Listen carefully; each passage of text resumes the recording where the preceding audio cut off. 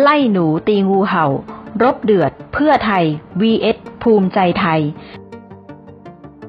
ผ่านไปแล้วแบบร้อนแรงตามคาดกับกิจกรรมครอบครัวเพื่อไทย ไล่หนูตีงูเห่า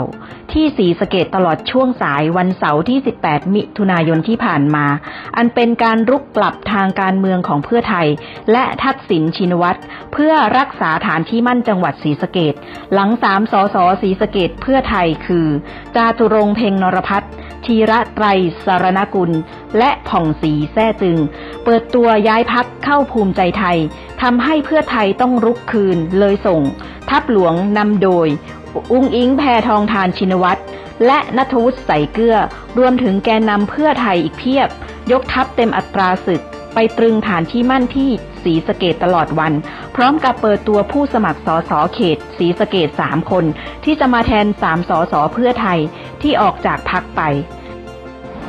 และเป็นอีกครั้งที่หลายคนได้เห็นลีลาปลาใสของแพทองทาน ที่ปลุกเร้าแฟนคลับ เช่นเดิม โดยเธอย้ำว่า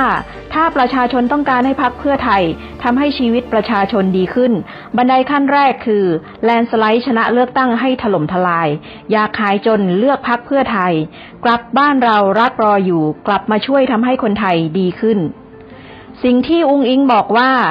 กลับบ้านเรารักรออยู่กลับมาช่วยทำให้คนไทยดีขึ้น ไม่ต้องบอกก็รู้ว่าลูกสาวทักษิณสื่อถึงอะไร ส่วนลีลาปราศัยในงานนี้ของนัทวุฒิแฟนคลับเดอะเต้น คงไม่ผิดหวังกับลีลากลวนๆกระแทกใส่พลเอกประยุทธ์และพักภูมิใจไทยแบบแสบๆ คันๆ สิ่งที่เกิดขึ้นคือสัญญาณเริ่มต้นของศึกปะทะเดือดทางการเมืองระหว่าง เพื่อไทยกับภูมิใจไทย หลังภูมิใจไทยวางเป้าสยายปีก พื้นที่เลือกตั้งภาคอีสาน พื่อให้ได้สสอีสานมากกว่าเดิม ยิ่งภาคอีสานการเลือกตั้งรอบหน้า จากเดิมตอนเลือกตั้งปี 2562 มีสสเขต 116 ที่นั่ง แต่จะเพิ่มเป็น 137 ที่นั่งจึงทำให้ทุกพักการเมืองรุกหนักที่ภาคอีสาน เพื่อต้องการแชร์เก้าอี้สอสอเขตจากเพื่อไทย เลยทำให้เพื่อไทยอยู่เฉยไม่ได้ ต้องเร่งตรึงพื้นที่เลือกตั้งอีสานทุกจุด ดูได้จากตัวอุ้งอิงเอง นัดแต่เปิดตัวเล่นการเมือง นอกจากที่กรุงเทพ พบว่าอุ้งอิง และพานทองแท้ชินวัตรไปภาคอีสานเกือบทั้งสิ้น ไล่จากขอนแก่น อุดรธานี สุรินทร์และล่าสุดศรีสะเกดแสดงให้เห็นว่าเพื่อไทยและทักษิณวางเป้าต้องรักษาภาคอีสานไว้ เพื่อเป็นบันไดสำคัญในการชนะแลนสไลด์ ดังนั้นเมื่อ ภูมิใจไทยต้องการรุกคืบ ขยายพื้นที่สสอีสานให้มากขึ้นมากกว่าแค่อีสานใต้ ที่บุรีรัมย์สุรินทร์ศรีสะเกดโดยอาจรุกเข้าไปกินแดนเพื่อไทยให้มากขึ้นในอีกหลายจังหวัด เลยทำให้เพื่อไทยกับภูมิใจไทย อาจต้องเปิดหน้าแลกหมัดกันรัวๆ ในศึกปะทะเดือด เพื่อไทยกับภูมิใจไทยที่คงไม่ได้มีแค่ที่ศรีสะเกด ในส่วนภูมิใจไทยเองพบว่ายังคงมีสสต่างค่าย ตบเท้าเข้าพักอย่างต่อเนื่อง เพราะนอกจากกลุ่มสสเพื่อไทย ที่โหวตสวนมติพักไปสนับสนุนร่างพรบงบ 2566 ที่หลายคนไม่เคยมีข่าวมาก่อน จะเข้าภูมิใจไทย เช่น นิยมช่างพินิษสสพิษณุโลกสีสมัย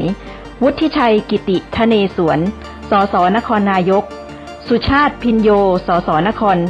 ราชสีมา แต่ตอนนี้ชัดแล้วว่ามาแน่